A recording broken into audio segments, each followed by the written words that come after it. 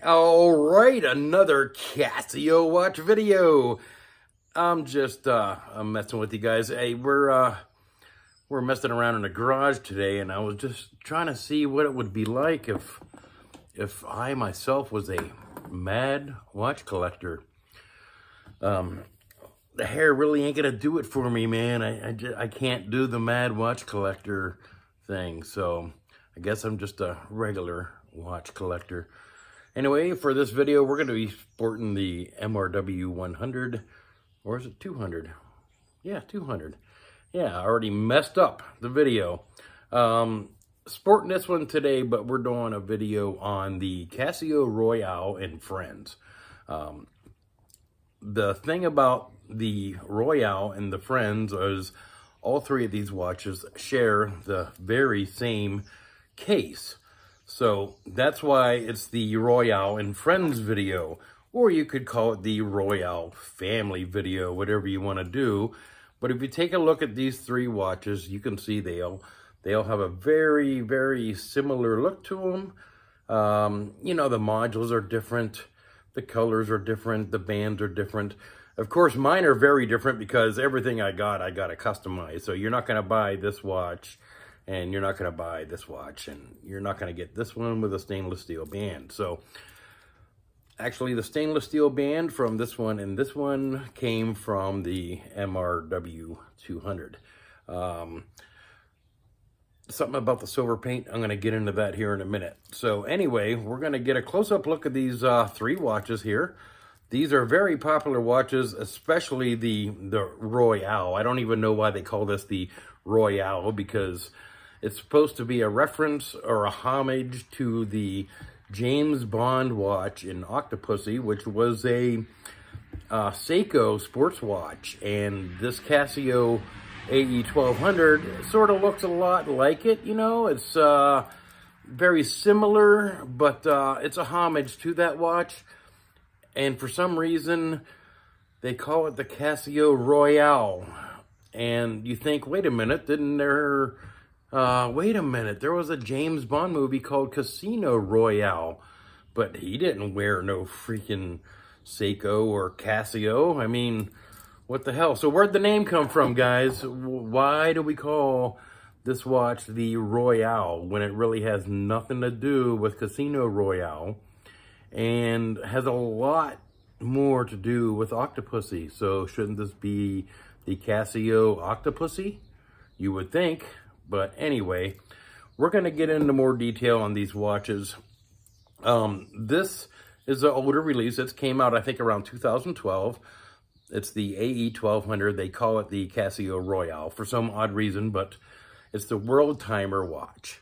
Okay, and the other watch that came out at a, in a very similar time frame, I think probably around the same time, was the AE1300 referee timer. But recently, this year, Casio, was it this year? It might have been 2023. It's it's less than a year old.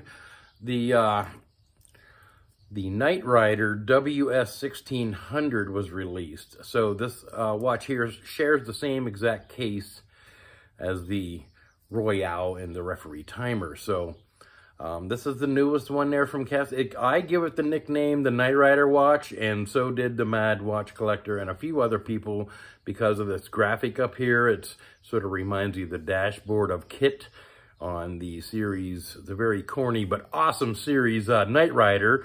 That was back when my hair was in style. But anyway, um, let's get into these watches.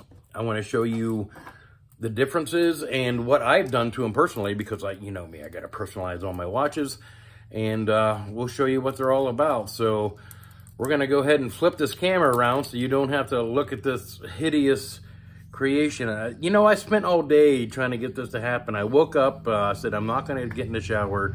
I'm going to wake up at the bed head and I'm going to work out in the yard and I'm going to sweat and keep messing with my hair and all that. And that's what I did just to make this video. So anyway, we're gonna flip this camera around and uh, talk more about the Royale and Friends. So stay tuned. Okay, let's get into it here. The Casio Royale and family, we're going to discuss these watches and uh, go through what they're all about real quick, and then um, the personal modifications I've made to them. So uh, real quick, this is the Casio Royale. Um, the AE 1200 is a world timer watch. This watch is, uh, if you travel a lot, this is a great watch to have. I mean, it's got world time functions. It's very, very legible. It's also got five alarms. So five alarms, that's real good. Hourly chime, uh, stopwatch, countdown timer, so many, so many things. Very, very common watch, very popular watch. You can get this watch in a vast array of colors. Um, if you want the one with the stainless steel band, you're not going to get the this uh, gray case I got. The gray case actually came from the AE 1300. Um, there's a reason for that. I'll explain it later. But anyway, uh, all three of these watches do have a screen protector. That is another thing that's nice about these uh, watches. On Amazon, you can get screen protectors for these watches for like dirt cheap. You get like a five pack for like six bucks or some shit. So um, it's nice to have a screen protector to uh, keep them scratches down to a minimum. So five alarms and world time function. You get the world map. Um, you can do so many things with, with this watch. It's very nice. Now, if you don't need a world timer, there's another option. This is the AE 1300 referee timer watch. Uh, this one here does have world time, but it's more of a uh, a watch for somebody that does a lot of uh, coaching or refereeing or time, time trials and stuff like that. Um, it has it does have a world time function. It only has one daily alarm. Um, but it does have not only the countdown timer and the stopwatch, but it has an interval timer, which is very, very nice if uh, you want to, you know, time lapse and intervals and so forth. Um, the case that you see here, this bronze color case, is actually an AE 1200 world timer case that I swapped modules with uh, this watch and this watch. Um, there's a reason for that. Um, I got this leather cuff off of Amazon. It's got the uh, gold colored thread. It matches the gold colored case. It really sets it off with that gold colored, you know, countdown timer. This watch here is like my weekender watch. You know, it's pretty cool. It's very nice. I don't wear it to work. I don't want to beat it all up. Um, now, let's get into the Knight Rider. The Knight Rider is pretty much identical to the AE 1300. I'm sorry about this uh, camera setup. I, I don't have a production crew or anything like that. Uh, this camera is my cell phone it's really sketched the way it's set up. If I'm to bump this, I'm going to knock it over and screw the whole video up. But anyway, the Knight Rider WS1600, this is the same exact watch as the AE 1300. Believe it or not, it's the same watch. The only difference between these watches is the graphic. So uh, you see the three circles on the AE 1300?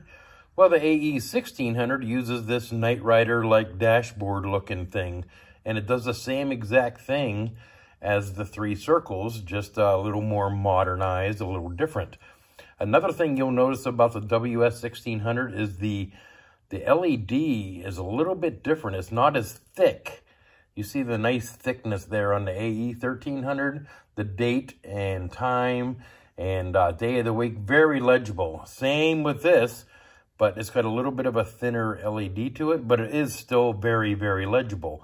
That's what set these two watches apart from the World Timer.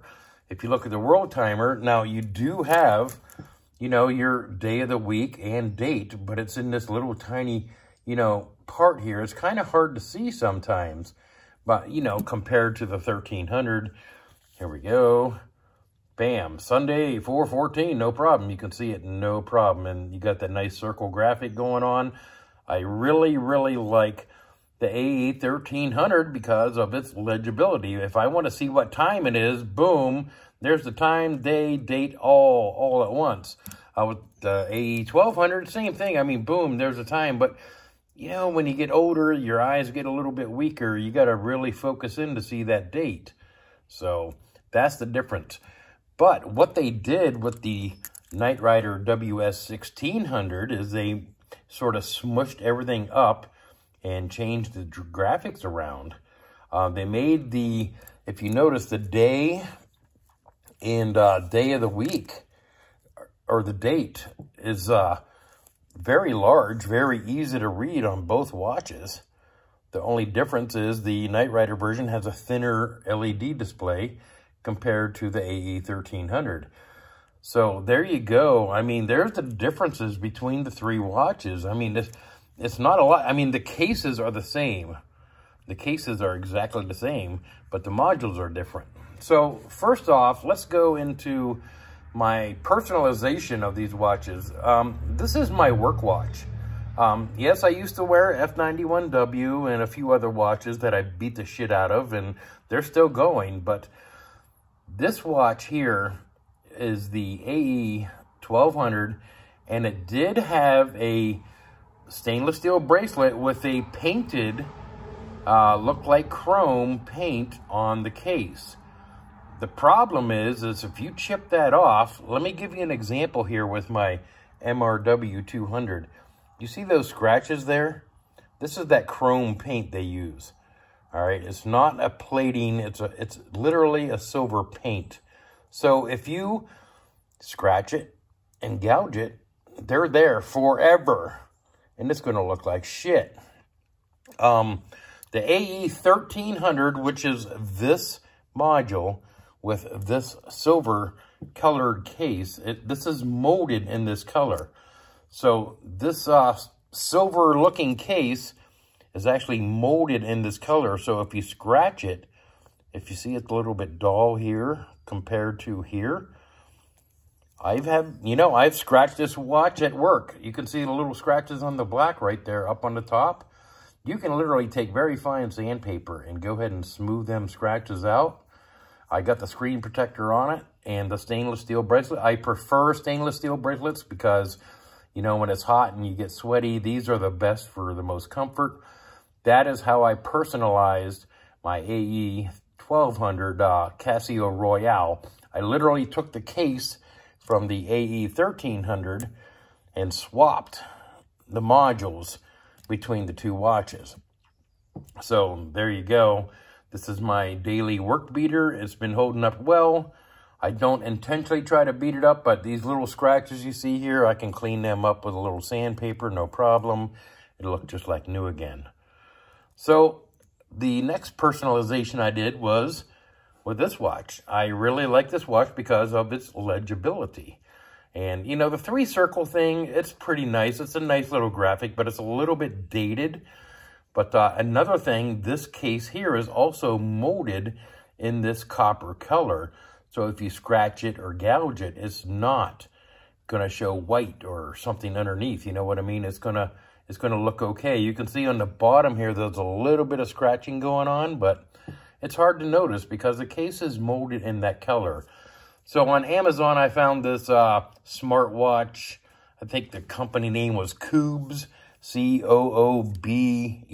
or something like that. And um, I just used the original band and kind of slipped it through the leather cuff and I got this. So this is a, like a weekend warrior kind of a watch.